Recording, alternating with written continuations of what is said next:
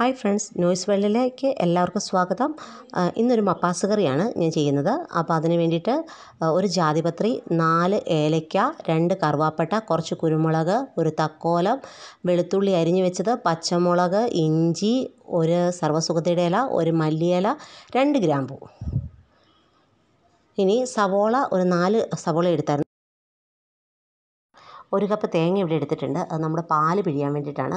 പിന്നെ main ingredient ആയ വെണ്ടയ്ക്ക ചോപ്പ് ചെയ്ത് വെച്ചിട്ടുണ്ട്.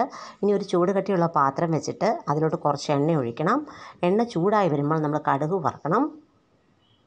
കടുക് പൊട്ടി തുടങ്ങിയിട്ടുണ്ട്. അതിലേക്ക് അരിഞ്ഞു വെച്ച ഇഞ്ചി ചേർക്കണം. പിന്നെ പച്ചമുളക് സവോള ഒന്ന് ചെറുതായിട്ടൊന്ന് സോട്ട് ചെയ്യണം. വെളുത്തുള്ളിയും കൂടി ഇട്ടു. സോട്ട് ചെയ്യണം. സോട്ട് ചെയ്തതിന് ശേഷം അതിലോട്ട് ആവശ്യമായ മഞ്ഞൾപ്പൊടിയും കറിക്ക് ആവശ്യമായ മഞ്ഞൾപ്പൊടിയും ഉപ്പും നമ്മൾ ആഡ് ചെയ്യുന്നു. ഇതിനെ ഒന്നുകൂടെ സോട്ട് ചെയ്ത് കഴിഞ്ഞിട്ട് വെണ്ടയ്ക്ക ആഡ് ചെയ്യണം. ഇത് ഒരുമിച്ച് വേണമെങ്കിൽ നമുക്ക് ചെയ്യാം. ഞാൻ നിങ്ങൾക്ക് കറി ഉണ്ടാക്കാൻ കാണിച്ചു തരുന്നതുകൊണ്ടാണ് അങ്ങനെ ചെയ്തിരിക്കുന്നത്. ഇനി ആ എണ്ണ ഇതൊന്ന് മാറ്റി വെച്ചിട്ട് അതിനകത്തോട്ട് നമ്മുടെ ആ സർവസുഗന്ധിയുടെ ഇലയും മല്ലി ഇലയും. ഈ മല്ലി ഇലയല്ല മറ്റേ മല്ലി ഇല യൂസ് ചെയ്യാം. പിന്നെ നമ്മുടെ സ്പൈസസ് എല്ലാം കൂടി ഇടുന്നു. അതിന് ശേഷം ഒന്ന് സോട്ട് ചെയ്യണം നന്നായിട്ട്.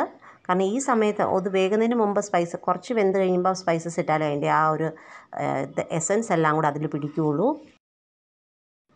ഒരു മുക്കാലോളം വഴന്ന് വന്നിട്ടുണ്ട്. അപ്പോൾ എണ്ണ തെളിഞ്ഞ് വന്നിട്ടുണ്ട്. അതിനകത്തോട്ട് രണ്ട് സ്പൂൺ ടീസ്പൂൺ മല്ലിപ്പൊടി ചേർക്കുന്നു. ഇനി അതിനെ നന്നായിട്ട് സോട്ട് ചെയ്യണം. ഇതേ സമയത്ത് അത് വഴന്ന് വരുന്ന സമയത്ത് ഞാൻ തേങ്ങ അരച്ച് പാലാക്കി എടുത്ത് വെച്ചിട്ടുണ്ട്. അതിൽ നമ്മൾ ആദ്യം എടുത്ത പാൽ മാറ്റി വെച്ചിട്ട് രണ്ടാം പാൽ ഒഴിച്ചാണ് അതിനെ വേവിക്കുന്നത്. ഒരു ജസ്റ്റ് തിള വരുമ്പോൾ തന്നെ അത് വേകും അപ്പോൾ അത് വെന്തിട്ടുണ്ട്. ആ സമയത്ത് നമ്മുടെ തലപ്പാൽ നമ്മൾ അതിനകത്ത് ചേർക്കുന്നു. അല്ലെങ്കിൽ ഫസ്റ്റ് പാൽ ചേർക്കുന്നു.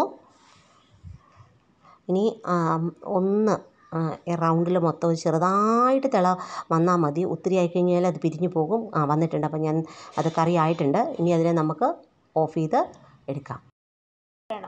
അപ്പോൾ നമ്മുടെ കറി റെഡി ആയിട്ടുണ്ട്. ഇനി നിങ്ങൾക്ക് ഈ ചാനൽ ഇഷ്ടമായെങ്കിൽ ലൈക്ക് ചെയ്യുക ഷെയർ ചെയ്യുക കമന്റ് ചെയ്യുക സബ്സ്ക്രൈബ് ചെയ്യുക. അപ്പോൾ താങ്ക് യു അടുത്ത ഐറ്റമായിട്ട് ഞാൻ വരുന്നതായിരിക്കും.